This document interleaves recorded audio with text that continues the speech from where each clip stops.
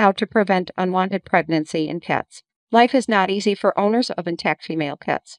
In our series about female cats, we already talked about how hard it is to calm a female cat when she is in heat, but a much bigger concern is avoiding unwanted pregnancy. Even if you keep a cat for breeding purposes, it's not the best option to mate her every time she comes into heat.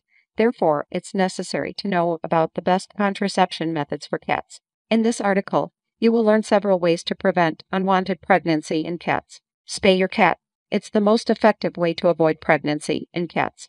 Forever, if you are planning to breed your cat, this solution is, of course, out of the question for you. If, however, you do not plan to use your cat for breeding purposes, there are very few excuses not to spay her. Some say that spaying is unnatural. But do you know what is natural? Mating is, but do you want that?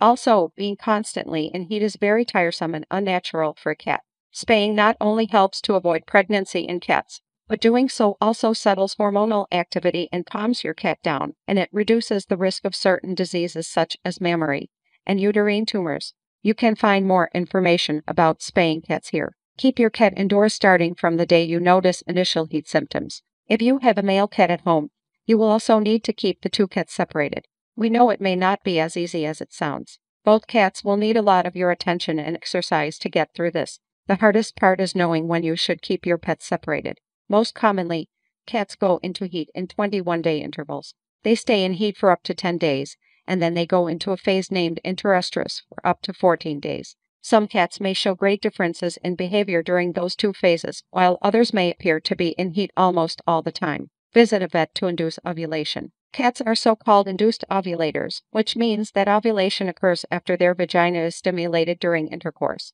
The good thing about ovulation is that it stops the heat cycle for 35 to 40 days, during which your cat won't be able to become pregnant. You don't want to let your cat mate, but your cat's vagina can be stimulated artificially in the veterinary clinic. Please note, there are many manuals on the internet showing how to do this at home. Don't try it. Visit a vet for hormonal therapy. There are several ways to alter your cat's hormonal activity artificially. Most commonly, hormones named prostaglandin and estrogen are used to stop the heat cycle and avoid unwanted pregnancy in cats.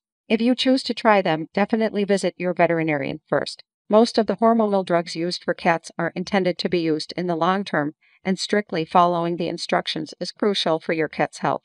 The use of hormonal therapies is risky because these medications can have very negative side effects and commonly lead to pyometra, uterine infection, and tumors in cats. If you can't spay your cat, the best suggestion to prevent pregnancy is to keep your cat separate from male cats and not to intervene with her hormonal cycle artificially. The latter can affect your cat's overall health and particularly important for show cats, the health of her reproductive system. On the contrary, if you do not plan to breed your cat, spay her.